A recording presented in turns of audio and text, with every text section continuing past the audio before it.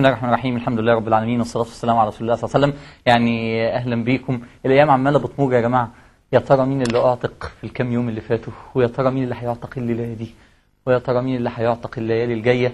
يقول النبي صلى الله عليه وسلم ولله عتقاء من النار في رمضان. وذلك كل ليلة. يا رب يا رب نكون الليلة دي كل اللي بيسمعونا يا رب يا رب نكون الليلة دي من العتقاء. ال- الحقيقة امبارح كمية المسجات اللي عمالة تروح للناس في بعضها. إني أحبك في الله واللي جنة على الموقع على الإنترنت. حاجات عجيبة جدا. يعني عاطفة جميلة جدا. هذا الدين العظيم. تعالوا ندخل على موضوع ال- النهاردة. موضوع النهاردة. أنت أخبارك إيه مع حمد الله تبارك وتعالى؟ أنت بتشكر ربنا كتير. أنت عامل إيه مع نعمة ربنا؟ أخبارك إيه؟ إحساسك إيه بالنعمة؟ يا جماعة درس النهارده عملي قوي قوي قوي. كلمة النهارده عملية قوي. يعني إيه؟ يعني من فضل حضراتكم السادة المشاهدين كل واحد ورقة وقلم وهيكتب معانا. إحنا النهارده أنا بتكلم وأنت بتكتب. إحنا الاثنين شغالين مع بعض في نفس الوقت واحيانا أنت هتكتب حاجات أنا ما قلتهاش. فإحنا هنعمل إيه؟ هنعمل درس عملي قوي. إحنا هنعمل الدرس ده مع بعض. يعني إحنا كلنا شغالين مع بعض والناس اللي في الاستوديو شغالة معانا كلنا شغالين مع بعض. درس عملي جدا جدا جدا. أنا بقول وأنت بتكتب. إيه الموضوع؟ الموضوع تعالوا تعالوا نعيش مع نعمة ربنا تبارك وتعالى. فاكر فاكر آخر مرة قعدت تفتكر نعمة ربنا وتحمده عليها كانت إمتى؟ فاكر ولا نسي؟ آخر مرة الحمد لله الحمد لله ولا لازم حد يفكرك ولا لازم دلوقتي بدأت تقولها؟ فاكر؟ فاكر آخر مرة قعدت كده مسكت سبحة أو اتمشيت قدام بحر أو قعدت في أوضتك وقعدت كده 100 مرة الحمد لله الحمد لله الحمد لله الحمد لله فاكر آخر مرة جيت تعصي ربنا فقلت لا معقولة أستخدم نعمته. في إن أنا اعصاب نعمته. معقولة أستخدم نعمة ربنا في معصيته؟ لا لا لا أنا مش هعمل المعصية دي. لا ابدا. بقى ربنا يديني قوة يديني فلوس أستخدم نعمته في معصيته يديني عربية أستخدم نعمته أعاكس بيها. أنا ما أقدرش أنا ما أقدرش. دي نعمة ربنا. فاكر فاكر آخر مرة استخدمت نعمة رب؟ فاكر آخر مرة جيت تعمل طاعة وقلت أنا بعملها عشان أستخدم نعمتك يا رب؟ فاكر آخر مرة من كتر ما نعمته مغرقاك؟ بكيت من خشيته. حصلت. عمرها حصلت في حياتك. بكيت. فاكر آخر مرة سجدت شكر ليه على نعمته؟ من إحساسك بالنعمة. قمت ساجد شكر نعمتك مغرقاني لقيت نفسك بتخر ساجد. لله تبارك وتعالى من فرحتك بنعمته. فاكر كم مرة قعدت تعدد للناس المصايب اللي وقعت عليك؟ كم مرة قعدت تقول لهم ده أنا حصل لي كذا آه من كذا آه من كذا. فاكر كم مرة قعدت تشكيه؟ لكن عمرك كم مرة قعدت تعدد للناس نعمه عليك؟ طول عمرنا عمالين نعدد للناس مصايبنا. مين بيقعد ده عمل لي كذا وعمل لي كذا وأكرمني بكذا واداني كذا. إيه الجحود ده يا جماعة؟ معقولة معقولة تقعد تعدد مصيبة حصلت لك وتنسى الألف نعمة؟ بقى تفتكر المصيبة وتنسى له الألف نعمة؟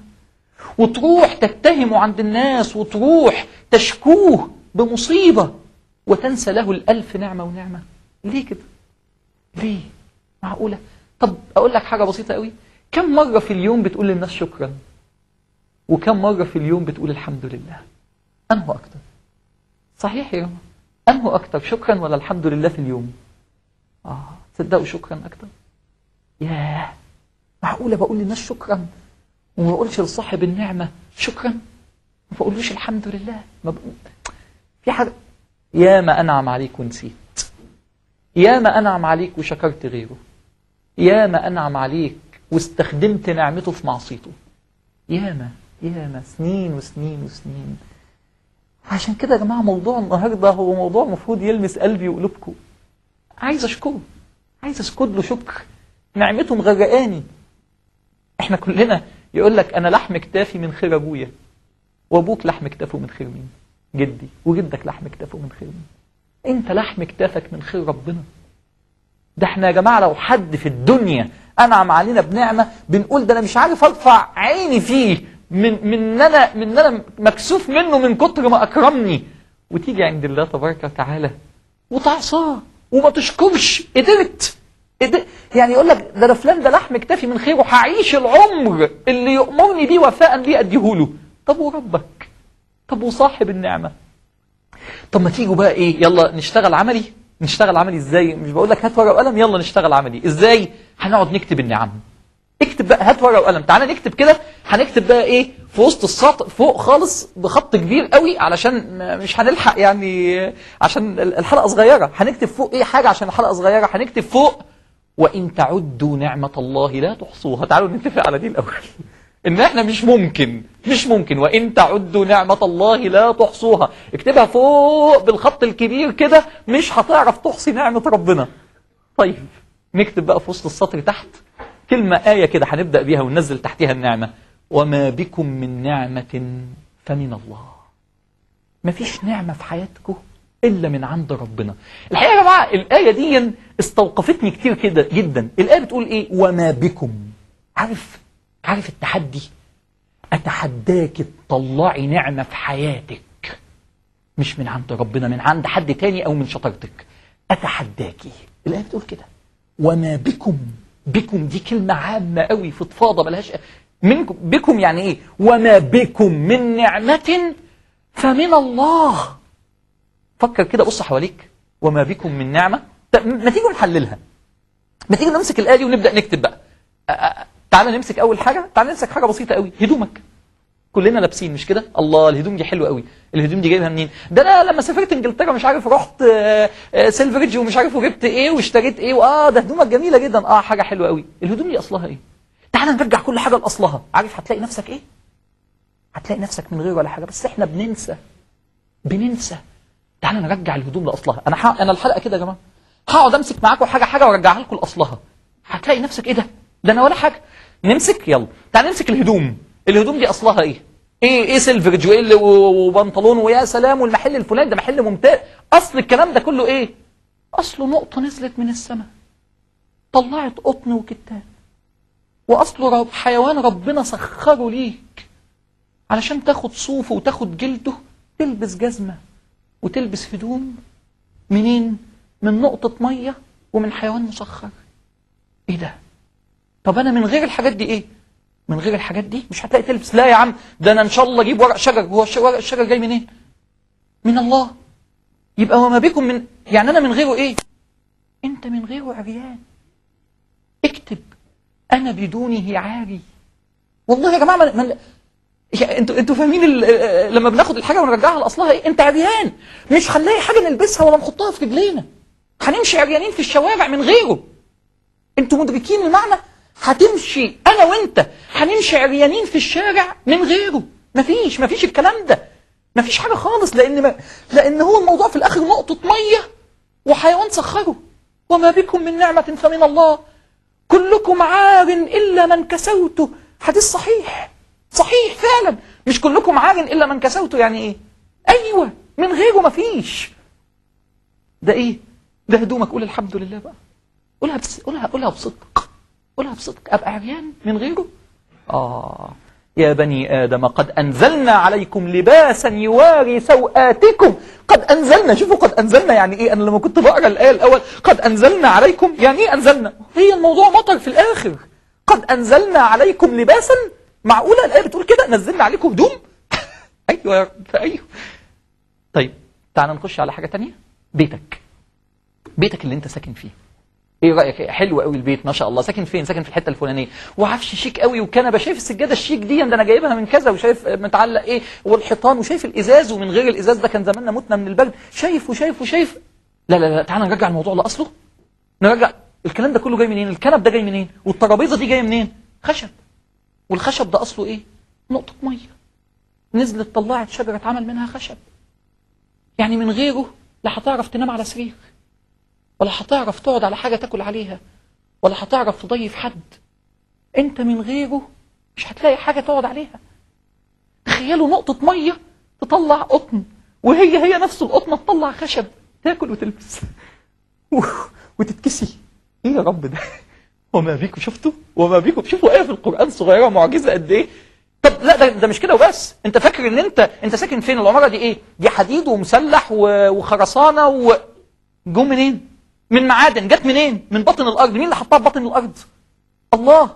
وما بكم من نعم يعني أنا من غيره إيه؟ بلا مأوى. يعني حضرتك من غيره عريان وبلا مأوى. طب تعالى ناخد حاجة ثالثة أنت شفت الموضوع عامل إزاي؟ والله جعل لكم من بيوتكم سكنا. انت فاكرين ب... بي... وشوفوا بيوتكم دي هو اللي جعل. دي مش بتاعتكم. كنت ح... كنا هنلاقي منين نقعد في مكان زي كده؟ منين؟ طب والكاميرا اللي بتصورنا دي؟ أصلها إيه؟ مش معدن؟ والمعدن ده جاي منين؟ والعربية اللي بره أصلها إيه؟ معدن جاي منين؟ إيه ده إيه ده إيه ده, ده, ده أنا ولا حاجة. طب وال... وبلاش مش هركب عربية يا سيدي. هركب هركب فرس. والفرس مين اللي سخره؟ مش هسكن يا سيدي في عمارة هسكن في خيمة والخيمة جبتها منين؟ وما بكم شايف أصل كل حاجة ولا حاجة أنت من غير ولا حاجة. طب طب تعالى نبص للأكل. فطرت إيه النهارده؟ لا أنا فطرت كذا وكذا وكذا وكذا. فطار جميل جدا. شكرته طب سؤال يا جماعة كده وكلنا كنا النهارده صايمين وفطرنا. كم واحد بعد الأكل حمد ربنا؟ حمد ربنا وحس بالنعمة. حمدت. كم واحد؟ شفتوا شفتوا المعنى يا جماعة؟ أكلت. طب الأكل ده أصله إيه؟ نقطة مية. نزلت من السماء. برضه ده, ده إحنا حياتنا كلها بقت مرتبطة بيه. كله كله من عنده. إحنا ولا حاجة يا اخوانا إحنا من غيره ننتهي ون- ونضيع. ولذلك شوف الآية. أفرأيتم ما تحرثون؟ أأنتم تزرعونه أم نحن الزارعون؟ مين اللي قال للنقطة نقطة مين اللي قال لنقطة المية انزلي؟ مين اللي قال للبذرة انبتي؟ مين اللي قال للتربة احضني مين اللي قال؟ مين اللي قال للثلاثة دول يعملوا كده؟ هي التربة دي احتوت الجذر ده بناء على إيه؟ بناء على إيه؟ اديني تفسير إلا الله تبارك وتعالى. أفرأيتم ما تحرثون؟ أأنتم تزرعونه؟ أم نحن الزارعون؟ لو نشاء جعلناه حطاما. كنا نقدر. يا بذرة ما تنبتيش. انتهت البذرة. طب طب تعالى ناخد حاجة تانية؟ المية. حضرتك بتشرب المية بتشرب على طول بتشرب. كم مرة بتحمد بعد ما بتشرب المية؟ ها يا عم ما بفتكرش. المية دي أصلها إيه؟ دي من الحنفية. والحنفية دي جاية منين؟ من البلدية. والبلدية جاية منين؟ من النيل. والنيل ده جاي منين؟ من مطر. والمطر جاي منين؟ من ربنا. إحنا كلنا بنقول في مصر مصر هبة هبة النيل مش كده؟ طب والنيل هبة مين؟ هبة الله. يبقى مصر هبة مين؟ هبة الله. المية اللي أنت طب إيه رأيك لو منع المية ست أشهر؟ طب إيه رأيك لو المية نزلت مملحة؟ د- بتضحكوا. في ناس ضحكت في الاستوديو. ليه؟ هي نكتة. طب إيه رأيك إن الآية بتقول كده؟ أفرأيتم الماء الذي تشربون؟ أأنتم أنزلتموه من المزن من السحب أم نحن المنزئون منزلون؟ لو نشاء لجعلناه أجاجا مملح فلولا تشكرون.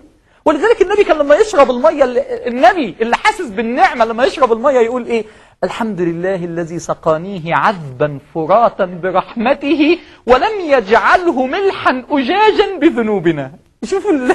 كان ممكن بذنوبنا ينزل مملح لكن برحمته نزله عذب أجا... عذب فرات. شفت يا جماعة؟ أنت من غيره عريان عطشان جعان بلا مأوى. تخيل. فكر كده بقى. كتبتوا الأربعة؟ اكتبوا السادة المشاهدين واكتبها كده. أنا بدونه عاري جائع بلا مأوى. تخيلوا كل الحضارة والمدنية دي من غير صفر ولا حاجة.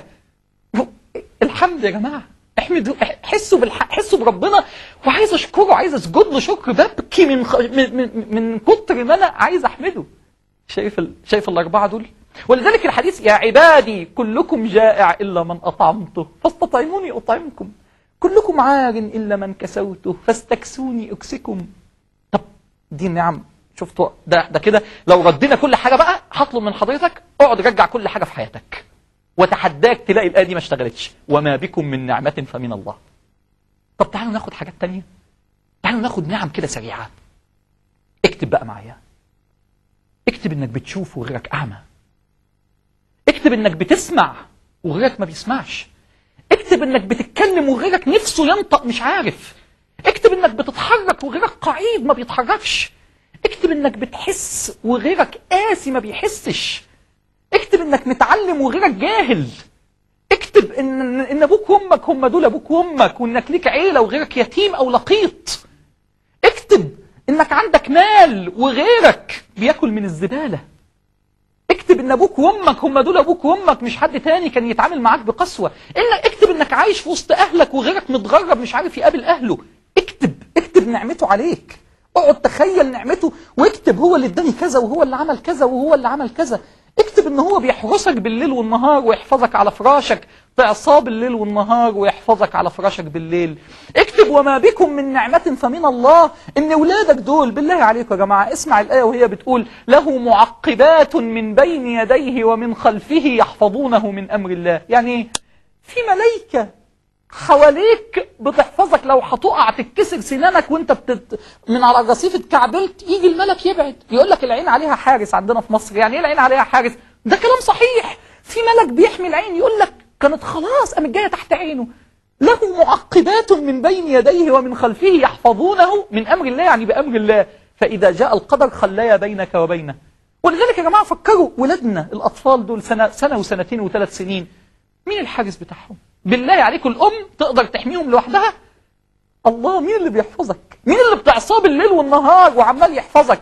يقوم يحرم واحدة إنها تخلف. فتفتكر له دي وتنسى الألف إحسان. يقوم يصيبك بمرض فتفتكر له دي وتنسى الألف إنعام. ما ينفعش يا جماعة. اكتب. كتبت كل اللي إحنا شفت. شفتوا كام حاجة؟ شفتوا دخلنا في كل حاجة في حياتنا إزاي؟ اكتب إن أنت عندك أولاد. اكتب إن أبوك وأمك موجودين. إنك إنك بتتحرك إنك بتحس إنك بتمشي إنك إنك بتفهم وغيرك مجنون. يا جماعة ده من المعاني العظيمة في الكون أن الله أوجد بعض الناس عندهم عاهات كي يتعلم الملايين نعمة الله عز وجل. عشان الملايين يتعلموا نعمة ربنا أصاب البعض بهذه العاهات عشان الباقيين كلهم يقولوا الحمد لله. طب اكتب النعمة الصغيرة قوي دي. نعمة صغيرة. إيه هي؟ خد نفس. سد مناخيرك. تقدر تسد قد إيه؟ نعمة الهواء ياه. تحمد كم مرة في اليوم بقى على نعمة الهواء نعمة إنك بتنفس. طب أقول لك نعمة في الهواء أحلى؟ إنه خلى الهواء غير مرئي. محدش يقدر يسيطر عليه عشان كله ياخد. عشان محدش يتحكم في حد في النعمة الأساسية. نعمة صغيرة قوي قوي يا جماعة ربنا ربنا. الحمد لله دي. أنا أنا بقول الدرس ده ليه؟ أنا بقول الدرس ده وأمنيتي إن كل ذرة في كياننا تهتف. تبقى تهتف مظاهرة داخلية من كرات الدم الحمراء والبيضاء بتقول الحمد لله الحمد لله الحمد لله. كل جسمك بيهتف الحمد لله. عايز تسجد نفسك البرنامج ده يقوم. يعني في يمكن سادة مشاهدين دلوقتي يقوموا من قدام التلفزيون ويقوم سجد له. الحمد لله الحمد لله. اكتب اكتب الكلام ده كله. لا اكتب حاجة تانية حاجة تانية جميلة جدا. نعمة الإيجاد أساس النعم. إن مين اللي حط الروح دي يا جماعة؟ دول بيتحركوا إزاي؟ في إيه جوه؟ الروح دي جت منين؟ أولا يذكر الإنسان أولا يذكر الإنسان أنا خلقناه من قبل ولم يك شيئا. هل أتى على الإنسان حين من الدهر لم يكن شيئا مذكورا؟ أيوة يا رب جاء. جاء يا رب حين من الدهر لم يكن شيئا مذكورا. نعمة الإيجاد مين اللي أوجدك؟ أنت ملك مين؟ إزاي ما تحمدوش؟ الروح دي بتاعت مين؟ الروح اللي جوه دي بتاعت مين؟ طب أقول لك على نعمة أنا أخرتها قوي إيه هي؟ يا نعمة الإسلام. أعظم نعمة. تخيلوا يا جماعة لو اتخلقت ما تعرفش ربنا. تخيلوا لو ما فيش رمضان. تخيلوا لو أنت تخيل لو مالكش إله تعبده. في في ملايين في العالم دلوقتي ما لهمش إله يعبدوه.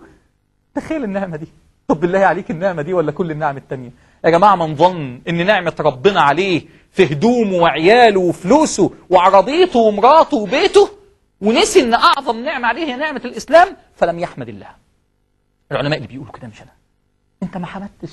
لو افتكرت إن النعمة أكل وفلوس ونسيت أعظم نعمة اليوم أتممت لكم اليوم أكملت لكم دينكم وأتممت عليكم نعمتي. تمام النعمة إيه؟ الإسلام اكتمل القرآن نزل.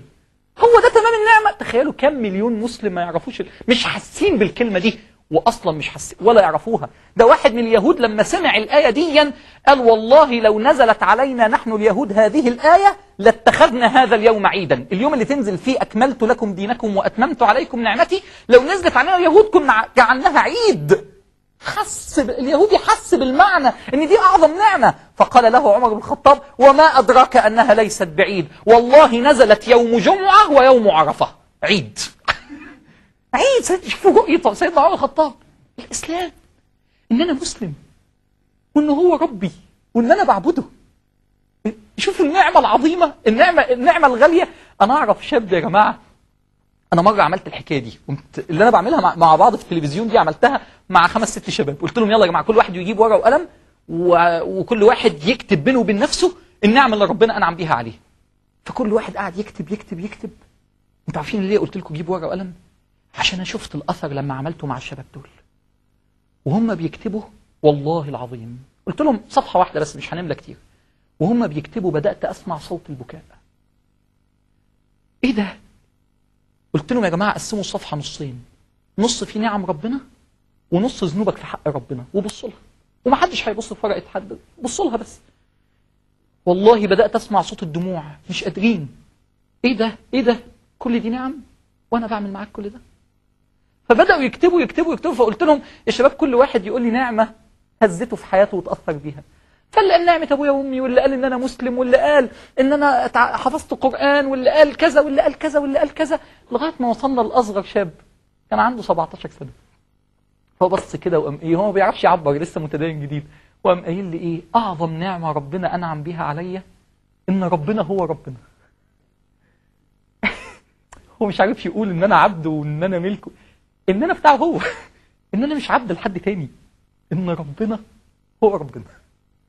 وبكى بكاء أثر جدا جدا اكتب اكتب إن ربنا هو ربنا. اكتب على لسانه. طب أقول لك أحلى نعمة؟ أحلى نعمة بقى الجنة. حلقة الجنة اللي كانت أول امبارح. أحلى نعمة الجنة. أديك حتة في الجنة تخليك تفتكر حلقة أول امبارح وتحسسك بالنعمة. حديث قدسي برضه أعددت لعبادي الصالحين. أعددت بنفسك يا رب. شوفوا حلاوة النعمة. بنفسك يا رب. ما لا عين رأت ولا أذن سمعت ولا خطر على قلب بشر. إشمعنى الترتيب دون؟ يعني إشمعنى عين وبعدين أذن وبعدين قلب؟ هل كلام عشوائي؟ لا شوفوا شوفوا الكلام الرائع.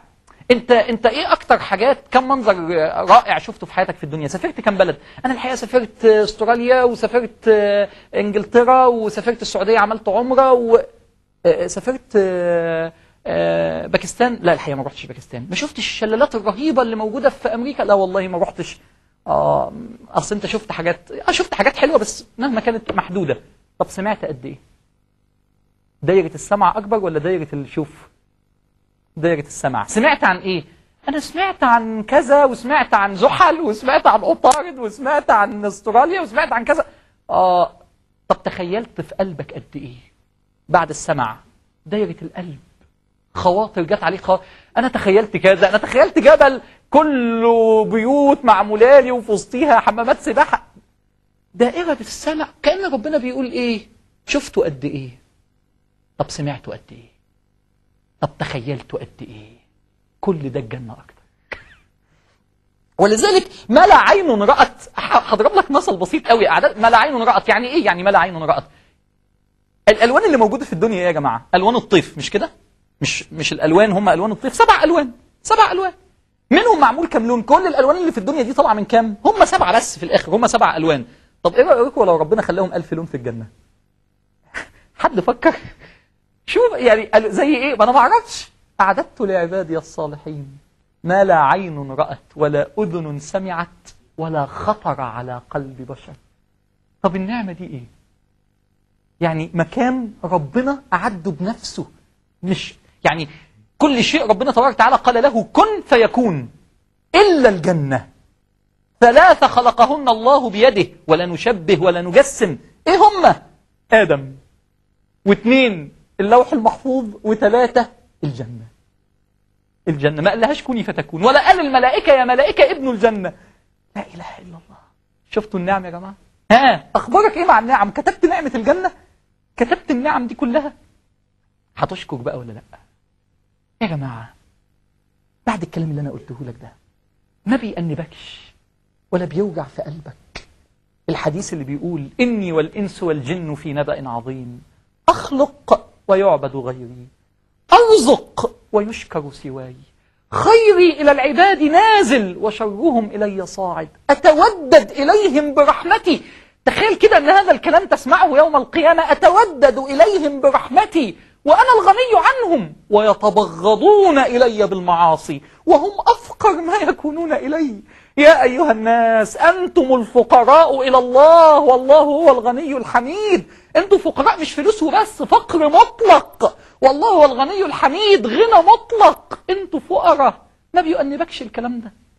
ما بيؤنبكش إن إبليس اللعين لما أراد اللعين إن هو يطعن فينا عند ربنا ام قايل لربنا ولا تجد أكثرهم شاكرين. ما بيوجعكش إن كلام إبليس طلع صح. إن طعنه فيك طلع في محله لما ربنا بيقول له بطردك من الجنة فهو بيقول له بتطردني من الجنة؟ طب أنت هتتفرج هم هيبقوا عاملين إزاي؟ ولا تجدوا هوسوس لهم ولا تجدوا أكثرهم شاكرين. نجح. نجح. ما بيأنبكش يعني كل الكلام ده لسه ما أنبكش ما يأنبكش قول الله تبارك وتعالى إن الإنسان لربه لكنود. آية بنقراها كل يوم والتاني. يعني إيه لكنود؟ يعدد المصائب وينسى النعم. إن الإنسان لربه حد يتعامل مع ربه كده. لربه لكنود. تقول ليه يا رب بقالي سنة عيان؟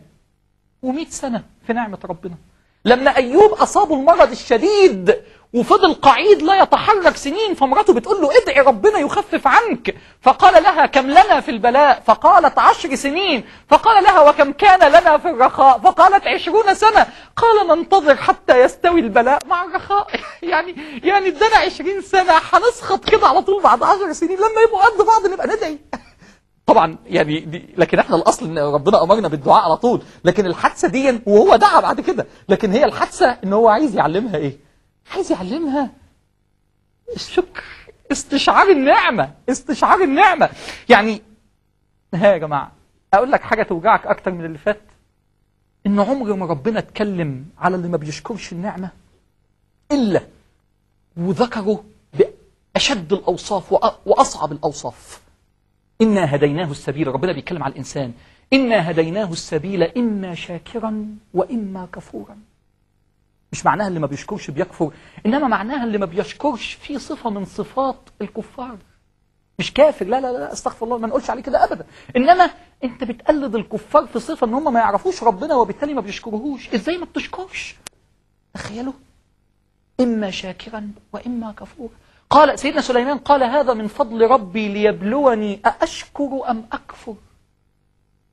يا جماعة طب الشكر ده والحمد ده قيمته إيه عند ربنا؟ لا قيمته كبيرة جدا. أنا أنا أنا بقول يا جماعة ونفسي الألسن شغالة معايا. يعني الناس السادة المشاهدين الحمد لله الحمد لله الحمد لله. طلع النعم واكتب. وبعد ما تخلص الحلقة هنقعد نكتب نكتب بقى ونعلق الورقة دي في البيت. عشان نفتكر بقى عشان ما يبقاش درس وعدى ما إحنا يا جماعة مشكلتنا سمعنا الحكاية حلوة وعدت. هنكتب عشان ما تروحش ونعلقها في أوضة النوم ونفتكرها. ورقة الشكر. معايا في المعنى. طب قيمته إيه عند ربنا؟ لا قيمته كبيرة. أول حاجة مفتاح القرآن الشكر. أول آية في كتاب ربنا الحمد لله رب العالمين. مفتاح أهل الجنة. أول كلمة هيقولوها وهم داخلين. اتفتحت الأبواب وداخلين أهو. وهم داخلين أول كلمة هيقولوا إيه؟ وق... كله بقى بصوت واحد. اسمع كده أهل الجنة. وقالوا الحمد لله الذي صدقنا وعده. أول كلمة وهم داخلين. مفتاح القرآن الحمد مفتاح أهل الجنة الحمد. لا مش كده وبس. مفتاح رضا ربنا الحمد. وإن تشكروا يرضه لكم. إن الله يحب العبد يأكل الأكل فيحمده عليه. إن الله يرضى عن العبد يشرب الشرب فيحمده عليها. مفتاح القرآن مفتاح أهل الجنة مفتاح رضا ربنا. المانع من العذاب. هو الشكر والحمد. إزاي يقول الله تبارك وتعالى ما يفعل الله بعذابكم إن شكرتم وآمنتم. نعذبكم ليه؟ لو بتشكر كأن المانع اللي يوقف العذاب الشكر اشكر ما تتعذبش. ده بيتكلم على دنيا ولا آخرة؟ الاثنين. هتبتلى لكن العذاب النفسي والإله مش هيحصل. ما يفعل الله بعذابكم. ليه؟ والآخرة ضامن أنت كنت بتشكر في الدنيا. طب اسمع أكتر من كده إن النجاة يوم القيامة مرتبطة بإيه؟ بالحمد. ينادى يوم القيامة. يا جماعة يا اللي بتذكروا دلوقتي وعمالين تقولوا الحمد لله الحمد لله الحمد لله. اسمع ينادى يوم القيامة ليقم الحامدون. اللي حمدوا ربنا يقوموا فيقوم أناس مش كل الناس هتقف. فيقوم أناس. تخيلي بقى حضرتك اتنين دلوقتي قاعدين قدام التلفزيون أو اتنين من السادة اللي معانا هنا. واحدة هتقوم يوم القيامة والتانية هتفضل قاعدة. هم سمعوا نفس الكلام. بس واحدة فضلت فاكراه والتانية نسيته بعد نص ساعة. ليقم الحامدون فيقوموا فينصب لهم لواء. امسكوا الراية دي عشان تعدوا بيها ما حدش يوقفكم. فيسيرون إلى الجنة لا يوقفهم أحد. فيدخلون الجنة خلف هذا اللواء. دول اللي كانوا بيحمدوا ربنا. اتفضلوا على الجنة على طول. الحامدون يدخلوا الجنة على طول. لا ده في أكثر من كده. إن يوم القيامة في وقفة حر يوم القيامة والناس كلها في الحر الشديد وتعبانة عايزين نبدأ الحساب وكل الأنبياء مش قادرة تشفع في بداية الحساب فيروحوا للنبي صلى الله عليه وسلم. هيشفع النبي في بداية الحساب. هو النبي قام قايل إيه؟ يقول فأسجد تحت العرش وأحمد الله بمحامد لم يحمده بها إنسان من قبل. كأن الشفاعة وبداية الحساب لما النبي يحمد ربنا. فأحمد الله بمحامد. فيقول الله تبارك وتعالى يا محمد ارفع رأسك وسل تعطى واشفع تشفع. لا ده في حاجة حلوة قوي قوي قوي وإحنا مش واخدين بالنا منها. إن ربنا لما أراد انه يختار لنبيه اسم اختار له اسم مشتق من الحمد فسمى نبيه محمد أو أحمد. يعني اسم نبينا طلع منين؟ طلع من صفة الحمد محمد صلى الله عليه وسلم. حبيبنا النبي صلى الله عليه وسلم. اسمه مشتق من إيه؟ من الموضوع ده.